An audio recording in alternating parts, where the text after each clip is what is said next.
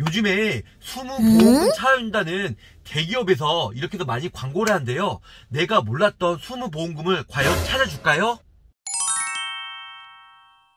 보험을 사랑하고 보험인으로서 보험을 쉽게 알리고자 하는 보험왕입니다. 구독자님, 미래 구독자님 감사합니다. 자, 요즘에 대기업 몇 군데에서 숨은 보험금 차준다고 많이 광고들 하고 있어요.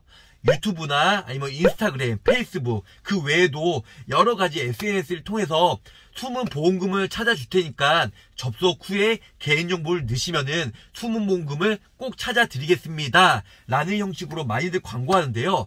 과연 숨은 보험금을 찾아주는지 정말 불편한 진실 그리고 아리송한 진실 저 보험왕이 구체적으로 낱낱이 파헤쳐 보도록 할게요. 일단 숨은 보험금은요 물론 찾아줄 수도 있고 안 찾아줄 수도 있지만 내가 보험금을 청구했는데 근데 그 업체에서 어떻게 숨은 보험금을 찾아줄까요? 혹은 내가 보험 청구를 안 했어요. 그럼에도 불구하고 숨은 보험금을 과연 찾을 수 있을까요? 저 또한 궁금해서 한번 인적사항을 넣어, 넣어가지고 한번 숨은 보험금은 찾을 수 있는지 한번 시험을 테스트를 해봤어요. 저뿐만 아니고 많은 저희 보험에서 일하시는 팀장님들이 같이 종사하신 분들이 한번 시험을 해봤는데요. 보수문 보험금 차윤난 거 다 영원 다 없다고 하더라고요. 오히려 반대로요. 며칠 지나서 어떤 설계사분들이 전화가 왔어요. 그래서 재무설계나 아니면은 증권분석을 통해서 숨은 보험금을 찾아준다고 한번 만나자고 하더라고요.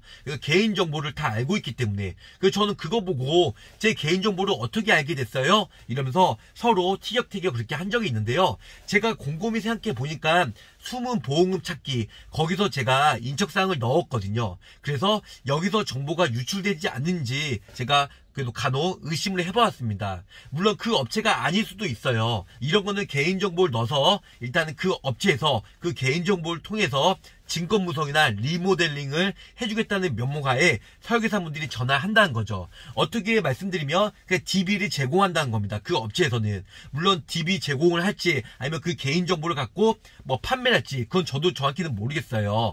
개인정보를 유출을 최소한 막기 위해서는 숨은 보험금 찾기나 여러 가지 그런 유혹에 넘어가지 말라는 겁니다. 내용이 좋으셨으면 구독, 좋아요, 알람 설정 꼭꼭꼭 부탁드릴게요. 자, 끝까지 시청해주셔서 감사합니다.